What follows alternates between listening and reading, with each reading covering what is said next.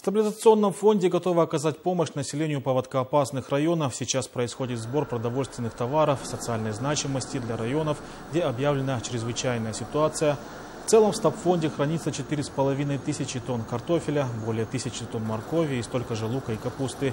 Также в наличии 60 тонн риса и 30 тонн сахара.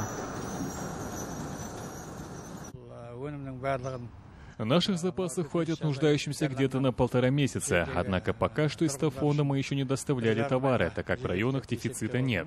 И тем не менее мы готовы оказать всю необходимую помощь.